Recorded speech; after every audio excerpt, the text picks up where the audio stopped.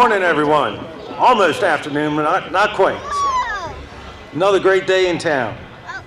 Just want to thank everyone for coming out and, and honoring our veterans. It's, it's always great. The gratitude and recognition our, our veterans deserve for their service and sacrifice for our great nation is immeasurable. The yearly turnout for Leonardtown's Veterans Day Parade exemplifies our community's immense support and respect for those who have served, and I have no doubt this tr tr tradition will continue for generations to come. Leonardtown loves our veterans. Thank you. Let's get started with our opening prayer. Father David Beaubien, St. Aloysius. Good morning to all. Veterans Day honors all men and women who have served our country in any of the branches of the military the Army, Air Force, Navy, Marines, Coast Guard, and National Guard. Armistice, from which Armistice Day or Veterans Day originally got its name, means a stopping of the arms that ended the Great War, called as such because it was the first to involve a worldwide conflagration. It was also called the War to End All Wars. It was the war that nobody wanted, but that no one knew how to prevent. The war had resulted in millions of military and civilian casualties. It ended with the armistice between the Allies and the Central Powers, which took effect at the 11th hour of the 11th day of the 11th month in 1918. That is why we are gathered on this day, approximately at that hour. There are no longer any living veterans of the Great War. Today we honor those who are living, but who likewise served. We pray that God may help all in military service and all of us be agents of peace. A great prophet has said, they shall beat their swords into plowshares and their spears into pruning hooks. Nation shall not lift up sword against nation, neither shall they learn war anymore. The prophet Isaiah. The great New Testament apostle has written, Put on the armor of God, that you may be able to resist on the evil day, and having done everything, to hold your ground. So stand fast with your loins girded in truth, clothed with righteousness as a breastplate, and your feet shod in readiness for the gospel of peace. In all circumstances, hold faith as a shield to quench all the flaming arrows of the evil one. And take the helmet of salvation and the sword of the Spirit which is the Word of God. The letter to the Ephesians. And our Savior says, Blessed are the peacemakers.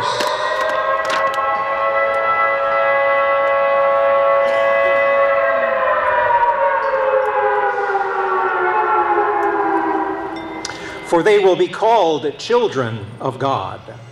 The Gospel of Matthew in an era when once again we face seemingly intractable conflicts, where both sides cry out for vengeance. Help us, merciful God, to find ways to diffuse hatred and to bring about peace. May we see your face, especially in the innocent caught in the crossfire. May we extend our gratitude to every veteran, and especially to those who may feel unappreciated Guide us as we imagine new ways to support veterans and their families. Bring healing and peace to all who have been wounded physically, mentally, or spiritually under the duress of armed conflict. Help us bring your saving grace to heal the invisible wounds of war and grant peace in our time. For you live and reign forever and ever. Amen.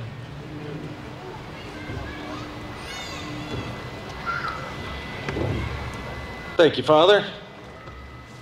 Now, can we have the presentations of the colors? We've got a joint honor guard with us today, St. Mary's County Sheriff's Office, Patuxent River Marine Corps League, Detachment 1305, and Leonard Hall Junior Naval Academy.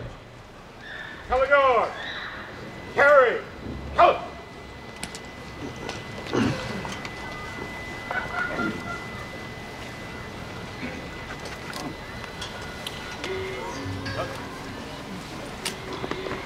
Okay, now uh, with America the Beautiful, we've got Bethany Yee.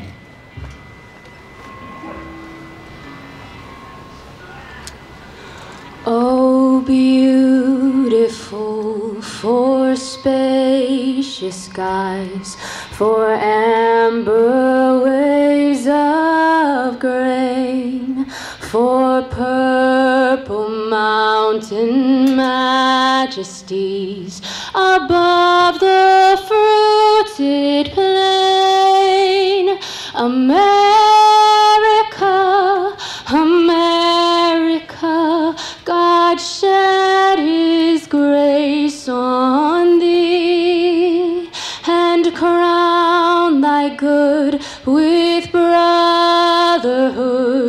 from sea to shining sea.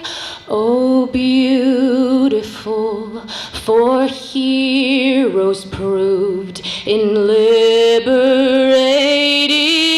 strife, who more than self their country loved,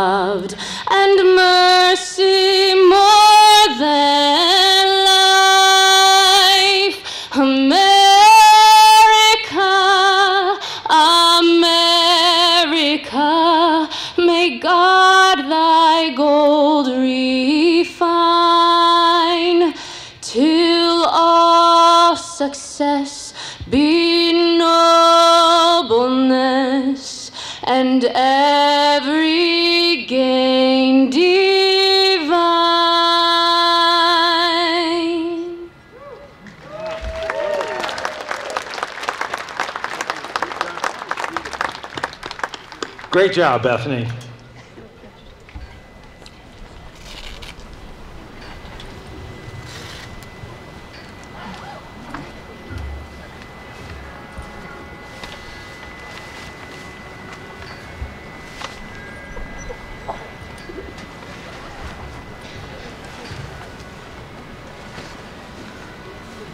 Okay, now you do a pledge of allegiance.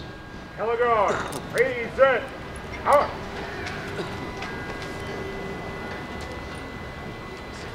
pledge allegiance to the flag of the United States of America and to the republic which stands, one nation, under God, indivisible, with liberty and justice for all. Thank you very much.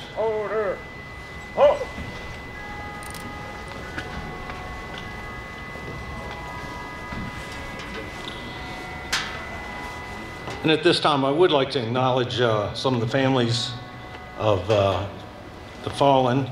We've got um, Army Specialist Raymond J. Faustus Jr., Army Sergeant Ryan Patrick Bauman, Army Corporal Matthew P. Wallace, Army Corps, Army Air Corps Captain Walter Francis Duke Midshipman, Anthony Villaire, and Petty Officer Second Class Edward Saunders. Thank you for the families.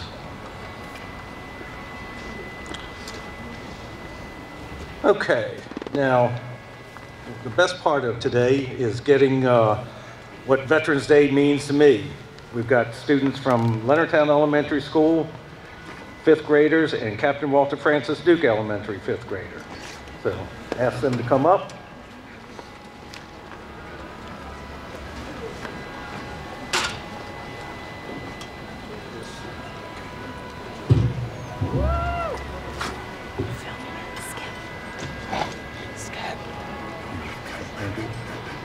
We've got Andrew William Mickley. Hello, my name is Andrew Mickley. Thank you for having me this afternoon. I'm representing Leonardtown Elementary School, and today I would like to share what Veterans Day means to me. Veterans Day means remembering and honoring those who sacrificed for their country. These men and women put their lives on the line daily out of duty and commitment to their country. It is because of these men and women who served and still serve that we can enjoy the freedoms that we do in America. For me, it's personal because of the amount of service my family has given to this country. My great great grandfather, my great grandfather, and my pop all served in the military different, during different wars and conflicts throughout America's history, such as World War I, World War II, and the Cold War, as well as Middle Eastern conflicts. Both my uncles served, one in the Navy, the other in the Army. My pop served for 30 years in the United States Navy, where he was often deployed for months at a time. My mom and aunts went without their father for birthdays and holidays. Their lives, as well as my pop's, were affected by the military and certain sacrifices were asked of them. Unlike Memorial Day, where we remember those who made the ultimate sacrifice for their country, Veterans Day is a day to honor all who served past and present. On this day, we do remember those who made the ultimate sacrifice, and we remember those who are still with us today, active or retired, and we should thank them for their service. Thank you for having me, and have a great rest of your day. Great job, Andrew. Next, we have Ryan James, James Ritchie.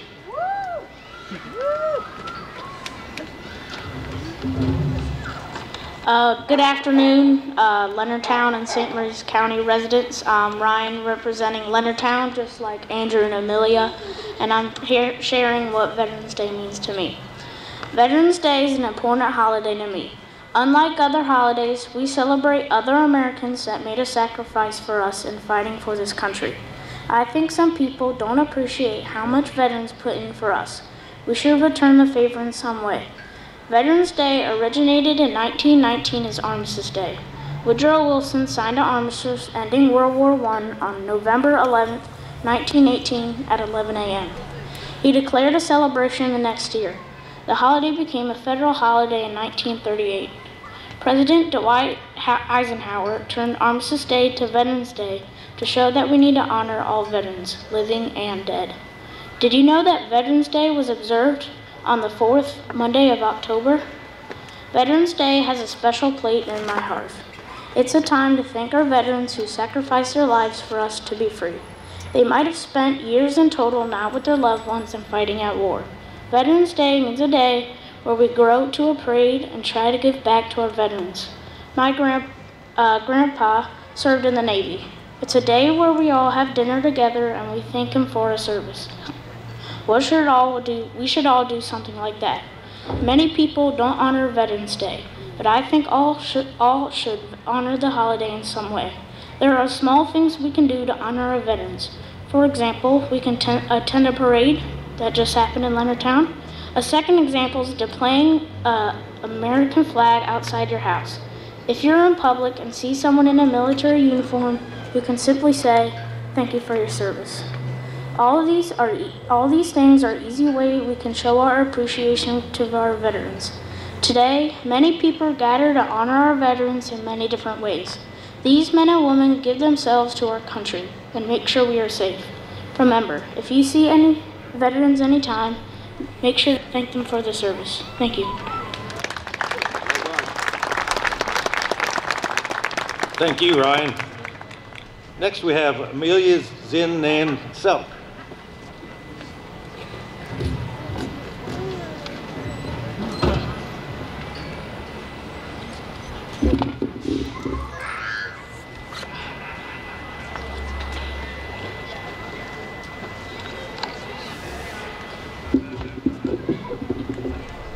Hello and welcome to the Veterans Day Parade. My name is Amelia Selk and today I will tell you what Veterans Day means to me. Veterans Day is a special day for veterans. It is celebrated on November 11th. That is because on that day a war ended. That war was World War I. It ended on the 11th day at the 11th month at the 11th hour. I think of Veterans Day as a day not just to celebrate veterans that died, but also all veterans. I am a proud daughter because my mom and dad. My dad served in the Navy for 31 years now, and he just retired. My mom had to move from one place to the other and be okay with it. My dad missed my adoption because he was on the aircraft carrier. I know he was risking his life, so I think that all of the veterans are doing or were doing their job with their head held high. I have five relatives that were in the military, and I am proud of each and every one of them. Veterans Day used to be called Armistice Day. Armistice Day used to be called that because in World War I on November 11th, that war, that war ended by an armistice. The people thought it would end all wars, although that didn't happen. About 21 years later, World War II started. These people would be in one of the five branches, which is the Army, the Marine Corps, the Navy, the Air Force, the Space Force, and the Coast Guard. In 1954, President Dwight D. Eisenhower changed Armistice Day to Veterans Day because he thought that all veterans should be celebrated instead of those who died in World War. As you can see, Veterans Day is a special day for all veterans around the world. It is celebrated for those who work in the military and work hard for freedom. Thank you, veterans, and happy Veterans Day.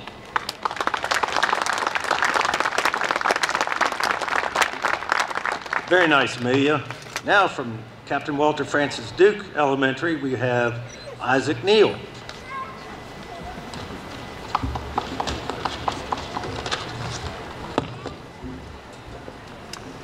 Hello, thank you for having me, and I am the only one here representing Captain Walter Francis Duke. Veterans Day is important to me because it's given me time to spend with my dad. He's the most important thing to me in the world. I love him so much. He's always there for me, just like veterans are here for our nation. When he leaves for a trip, it's not the same. Even our dog acts differently. But it's just giving him a break for scouts, soccer, music, and, well, work. He's always staying up at night, or waking up early, or falling asleep on the couch with scotch and chocolate. My, my family celebrates Veterans Day by going to this parade or visiting family and friends. It's also an opportunity to spend time with my dad, like playing soccer and football outside, or watching soccer and football games on TV. My dad was a P 3 pilot, so he used to leave for a long time, and I will miss him so much. When he got back, it would be easier, better. I would go to bed saying to myself, My dad's here, and I'm happy. Sometimes I wonder what it's like in the military. Sometimes my dad tells me, and sometimes he shows me. Sadly, it's only pictures of movies. When he tells me, he would always say it was an honor, frightening. In the end, he's gladly in one piece. Once, I heard someone say, if I carry a flag and march with a band, I stand very tall. I hope that it will show that I'm proud of our soldiers and proud of the flag and all. In conclusion, I found this poem online. It is the veteran, only the veteran, not the preacher who has given us freedom of religion. It is the veteran, not the reporter who has given us freedom of the press. It is the veteran, not the poet who has given us freedom of speech. It is the veteran, not the campus organizer who has given us the freedom to assemble. It is the veteran, not the lawyer who has given us the right to a fair trial. It is the veteran, not the politician who has given us the right to vote. It is the veterans who have given us freedom and life.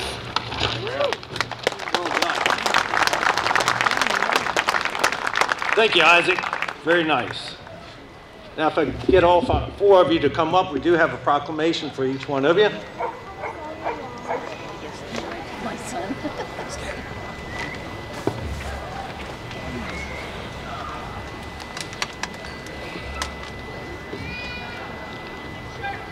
So it's a certificate of achievement in recognition of outstanding essay composition. The uh, certif- this the certifies is proudly presented to. This one is Isaac Neal for your hard work, dedication, and achievement will be cherished. There you go. Welcome. And this certificate of achievement in recognition of outstanding essay composition, the certificate is proudly presented to Andrew William Mickley. Your hard work, dedication, and achievement will be cherished. Thank you. And Certificate of Achievement in recognition of outstanding essay composition. This, the certificate is proud, proudly presented to Ryan James Ritchie.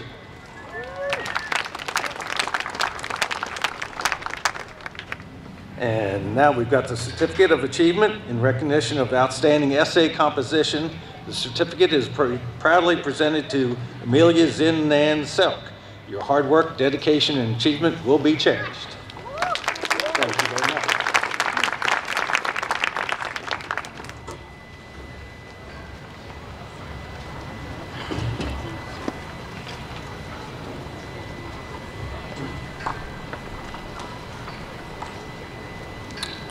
Okay, now we'll move on to remarks. Well, let's have a big hand for the, the children that always do well. Thank you all very much. Now, moving on to remarks, the Honorable Steny Hoyer, Congressman, 5th District, U.S. House of Representatives. Thank you very much, Mr. Mayor. Every time I do this, I wonder why I'm doing this. Because the real speakers are those four young people. And every time I'm here, it is those young people who capture the essence of what this day is all about. And I want to thank them, and I want to thank the principal of Leonardtown uh, Elementary Schools here. Thank you very much for what you do. In my view, the most important people uh, in any society are its teachers. Uh, and our teachers need, however, our veterans and those in active duty to make sure they can continue to do their duty. So I'm very pleased uh, to be here. Uh, Captain Kingsley, I'm glad to be here with you. You represent on this stage the uh, uniformed personnel of our armed forces. The war to end all wars did not. We're at war today in many parts of the world. In Ukraine, uh, we're at war. Uh, they're defending freedom. They're on the front line of freedom. Um, we need to remember those who have served, those who served and gave their all, those who served and came home and uh, are now gone, and those who served and still are among us. Not just good words, but good deeds is what they need.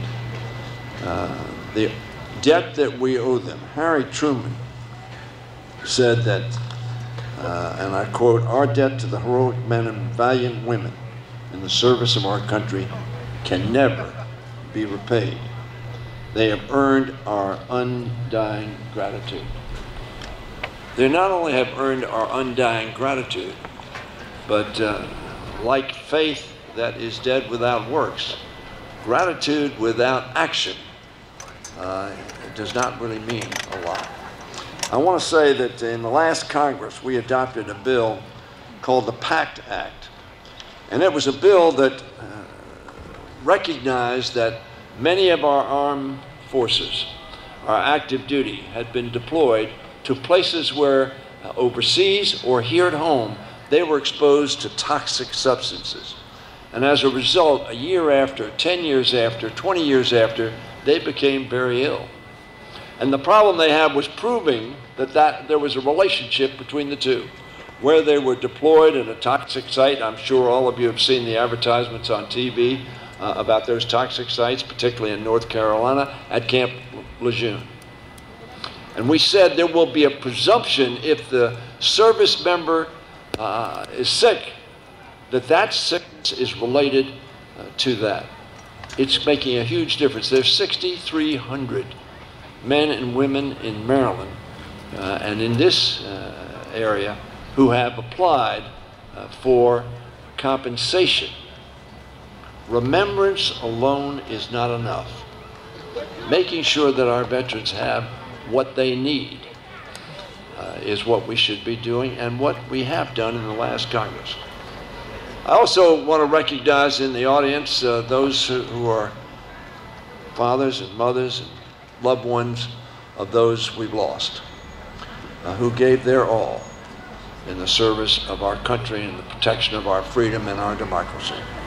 I also want to thank those who represent uh, some of our allies from Australia and Great Britain, who stood side by side with us, and they were a little earlier than we were in World War II, not by choice, but by necessity.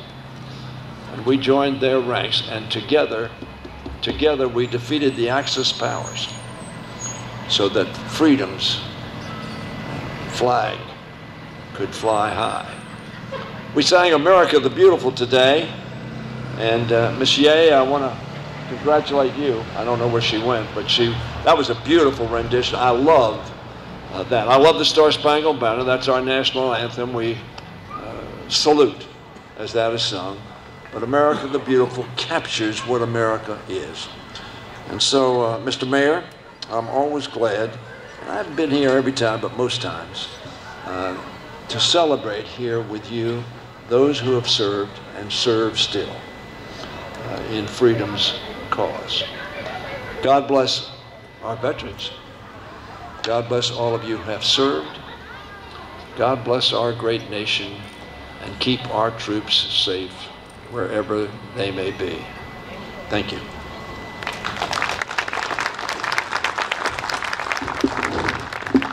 Thank you, Congressman.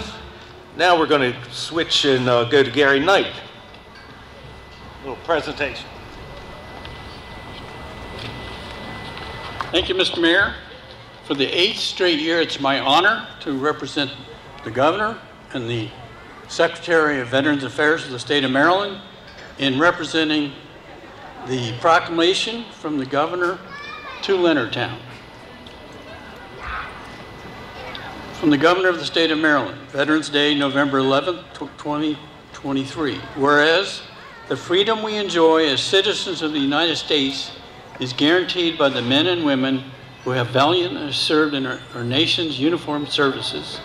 And whereas November 11, 1919 was originally proclaimed as Armistice Day in honor to honor veterans of World War I, and whereas in 1954 President Dwight Eisenhower signed legislation proclaiming November 11th as Veterans Day and a day to honor all veterans who served, and whereas Maryland is home to more than 350,000 veterans who honorably served to our nation's uniformed services, and whereas Maryland joins the entire nation and distinguished veteran service organizations today in observing Veterans Day with events dedicated to honoring all who serve, now therefore I, Wes Moore, Governor of the state of Maryland, do hereby proclaim November 11, 2023 Veterans Day in Maryland and call upon the people of our state to join in this observance. Mr. Mayor, congratulations. Thank you, sir. Appreciate it.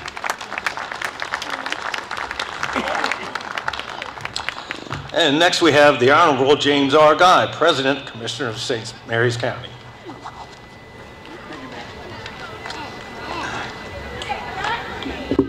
Good afternoon.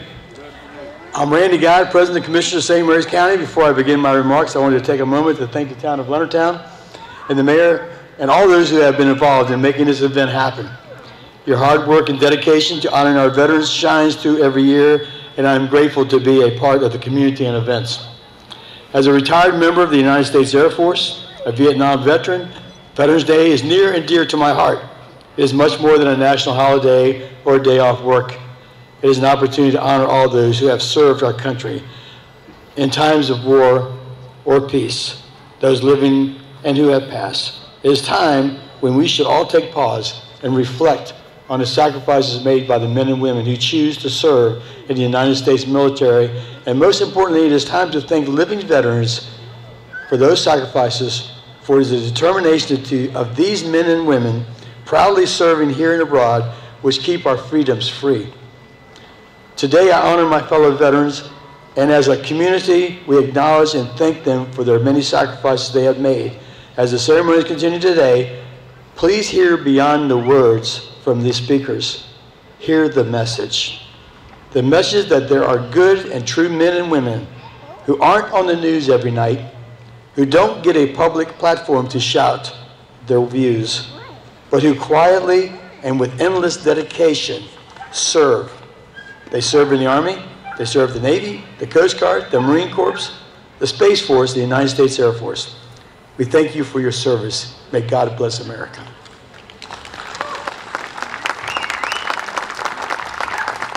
Thank you, Commissioner.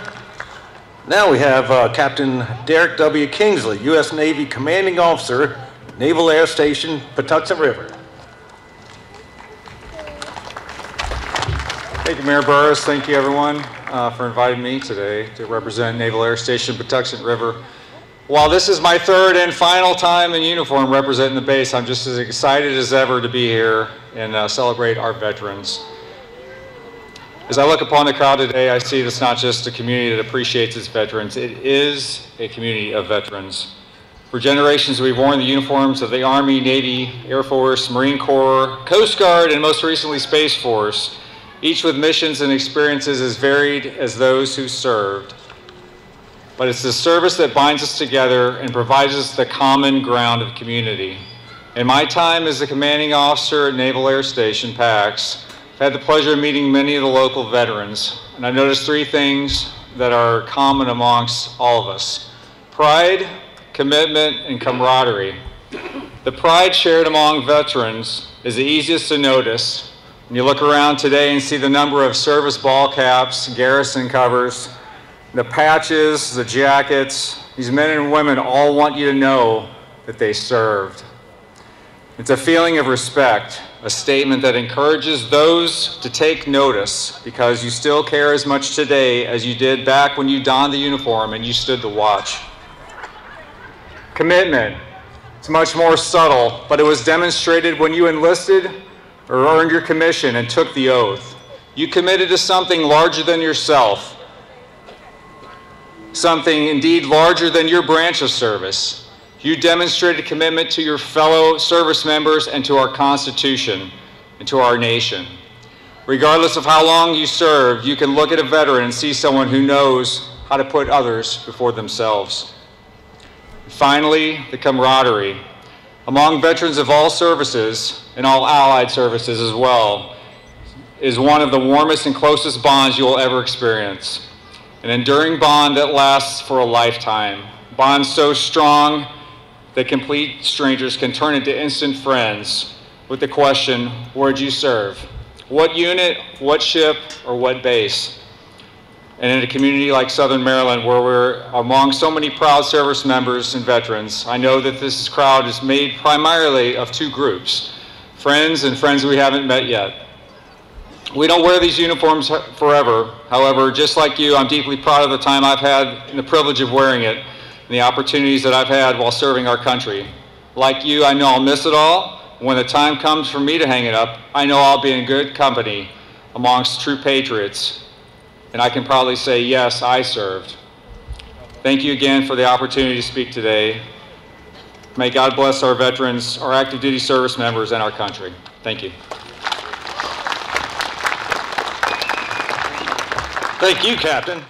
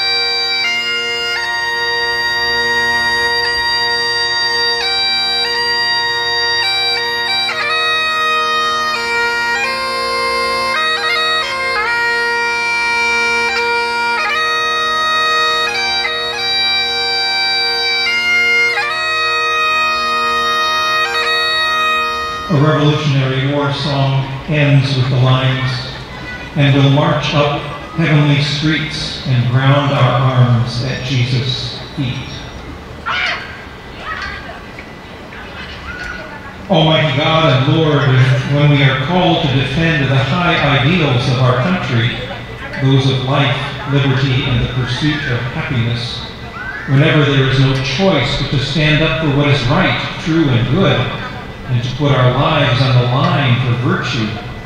May upright consciences prevail to bring about reconciliation, justice, and peace at the soonest possible moment through respectful listening and dialogue supported by your grace.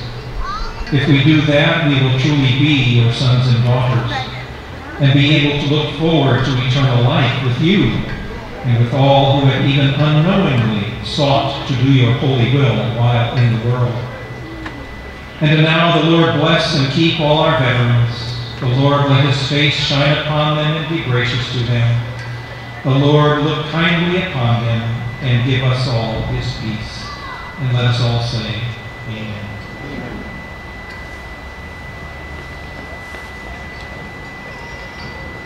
Thank you, Father. Uh, that concludes our services. So just everyone, just remember, not just today, but remember our veterans. Thank you very much.